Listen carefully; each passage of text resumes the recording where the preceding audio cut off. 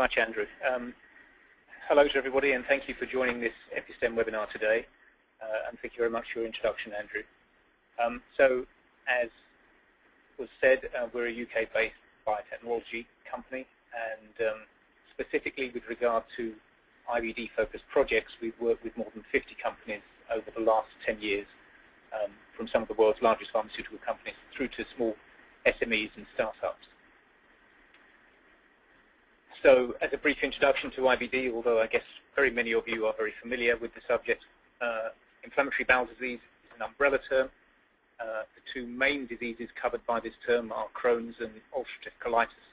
Uh, and there are more than 5 million people worldwide that suffer from these diseases, um, the majority of which uh, reside within the UK and Europe and in the USA.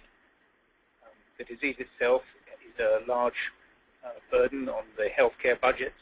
Um, more than £700 million is spent in the UK on uh, caring for IBD sufferers and nearly $2 billion uh, in the USA.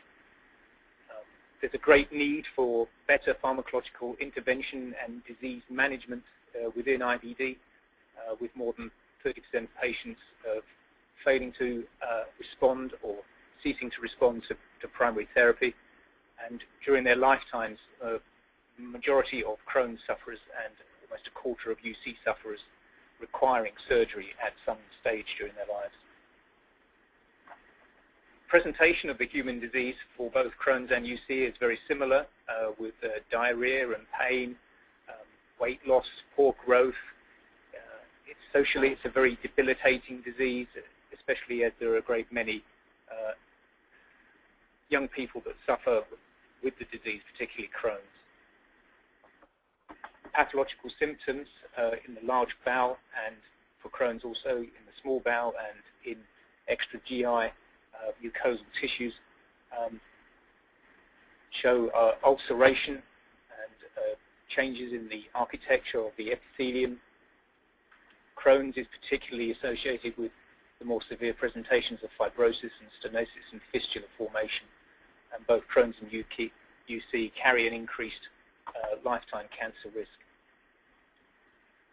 Uh, although the disease presentation is similar, uh, the underlying immunology for the two diseases is different, uh, with Crohn's having a, a Th1 type uh, immunity uh, underlying the pathology, and ulcerative colitis generally thought to have a Th2 type immunity underlying its pathology, um, with Th17 immunity contributing to both uh, diseases in terms of their chronic nature.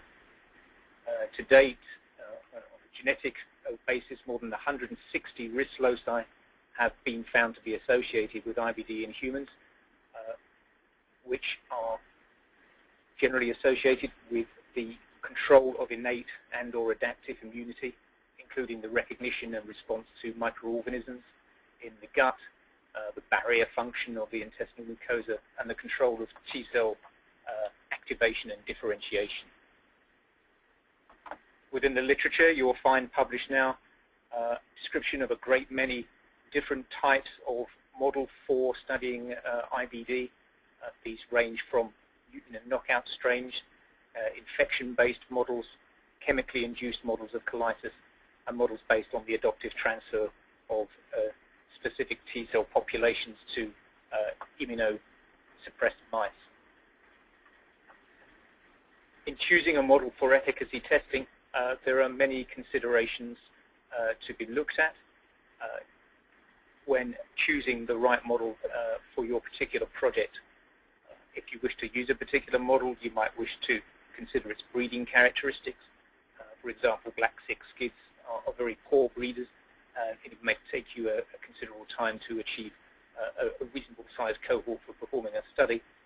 Uh, the time course of the disease may be long and they may be asynchronous, uh, and therefore you may wish to consider synchronizing the disease, such as in RSM knockouts where you might want to uh, give uh, piroxicam.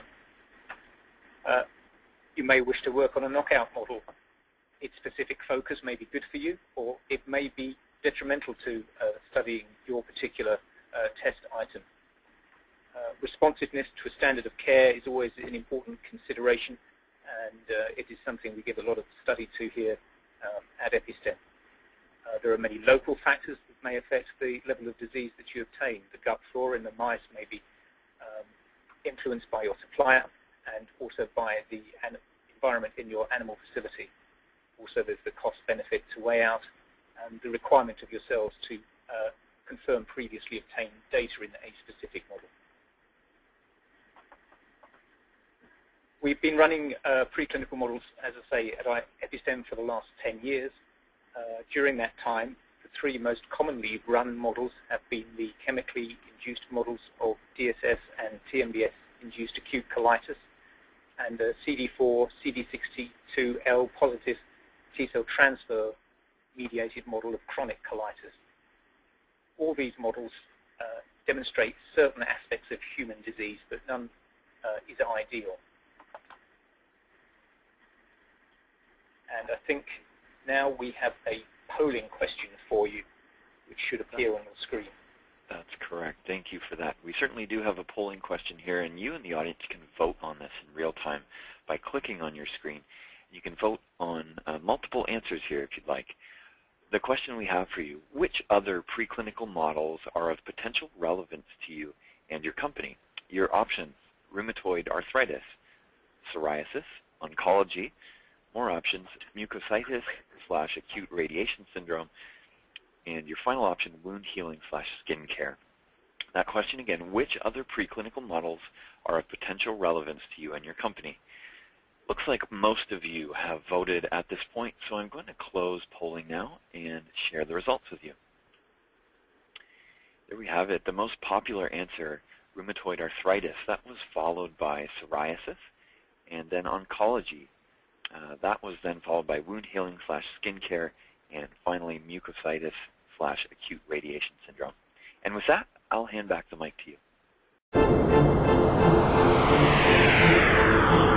Thank you.